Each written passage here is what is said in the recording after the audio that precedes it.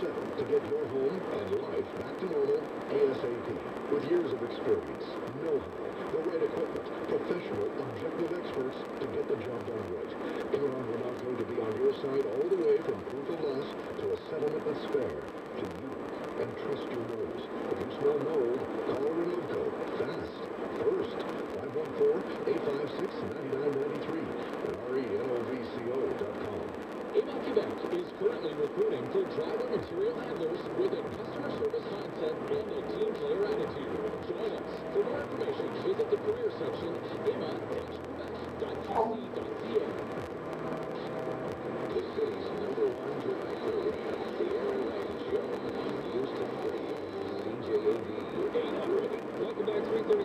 336 on this beautiful Friday afternoon. It promises to be beautiful weekend. Even a nice to next week if you're lucky enough to have some time off.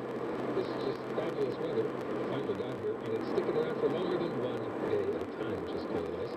All right, we open up phone lines on Friday, talk about whatever you would like to talk about. But before we get to, to that, uh, let me mention uh, the really important story today. Uh, I mentioned this earlier.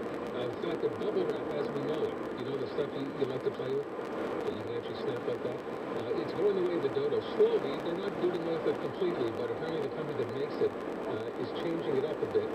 So it, it's going to be silent bubble wrap because it takes up less space, therefore costs less money to ship, etc. So for those of you who are going to miss it, uh, I thought I would let you know that there is a site where you can go online, and you can sort of do this uh, la carte. You you, sort of move your mouse over, and it makes the sound of bubble wrap, like, like this. Go ahead. Okay. You can do it as quickly as you I can see you get it now. Now. I know. Uh, you can find it online. What's the website for it? What is it? Does it show? I think if you Google virtual bubble wrap, Okay, you got it now. All right, you can just play to your heart's content if you're home this afternoon and have nothing to do, like read a book. Uh, okay, thank you, man. So here's the deal. Uh, you want to talk about whatever, call me 790-0800 and see what's on your mind. Stan's been holding for a while now. You can talk today. Stan, go ahead. Well, I don't want to comment on a great interview, but uh, uh, the good doctor even seemed uh, honest and, and, and forthright by saying that uh, maybe he's naive, but doesn't think that Porter's. Mhm. But the question still remains. He believes Porter when, when Porter said that, well, he wouldn't get a fair trial in Montreal. If a guy the likes of Declan Turcotte, the cardiologist murdered his kids, supposedly got a fair trial, he got a fair trial because they got out now he's going to be uh, tried again. But still, uh, I think that was a great insult to our Quebec doctor system, and I don't think it was warranted. But more importantly, why, I mean, he, he's excusing the doctor who signed the death certificate and saying, well, he didn't have to see the body because it was at night. I never heard of No, no, no, no, no, I don't think he said, not. I think he said because Arthur Porter died at night, this particular doctor wasn't there. It happens he wouldn't have been there in London or anyplace else. That's what he actually said. He's not saying he's not excusing him.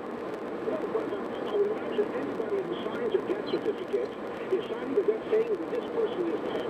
How can a person sign any document death certificate without seeing the body? This to me, this boggles the mind. Now, again, I, I don't think, maybe I'm wrong, I don't think he said he didn't see the body. I think he said when Arthur Porter died that night, there was no death certificate signed by the medical examiner because he wasn't in the hospital at the time.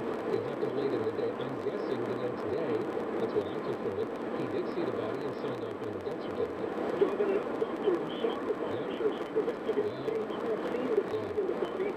and the, person certificate. Don't get, don't get so upset. It's okay. Now, do you think Arthur Porter's dead?